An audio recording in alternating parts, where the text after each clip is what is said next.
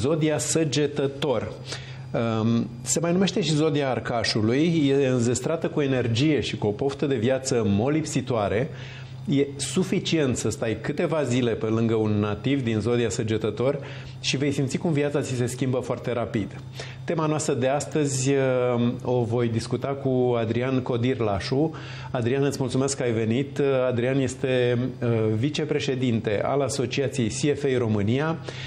CFA România, să traducem, Chartered Financial Analyst, un titlu de glorie în industria financiară uh, românească. Uh, înainte de a trece la subiectul nostru, cum ne erodează inflația banii și care sunt soluțiile uh, posibile, o să fac ca de fiecare dată zodiacul financiar pentru perioada care urmează. Berbec.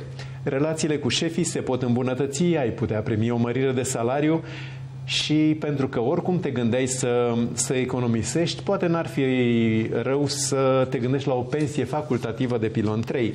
Taur, vei primi oferte sau proiecte noi care însă îți pot afecta sănătatea. De aceea, o asigurare de viață care are și o componentă de sănătate ar putea să-ți fie cel mai bun prieten.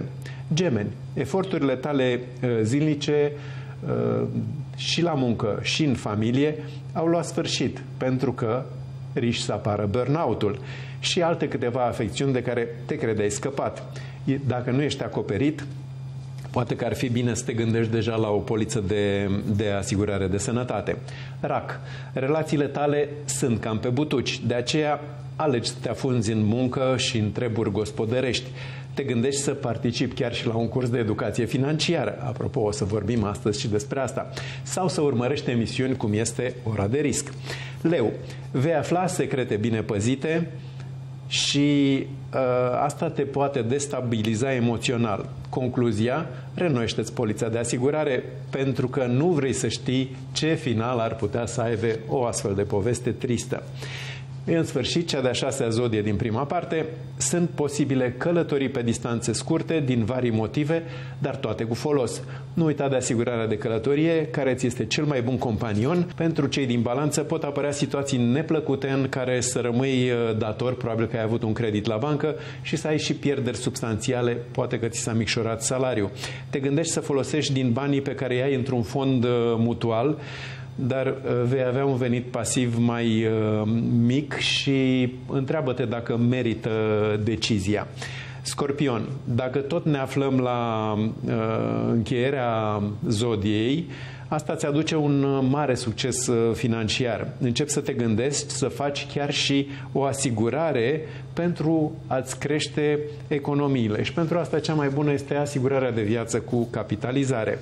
Ascultă-ți uh, instinctele bune. Săgetător, toți suntem în zodia săgetătorului, reușești să-ți menții un echilibru între nevoile sufletești, între planul social și planul profesional.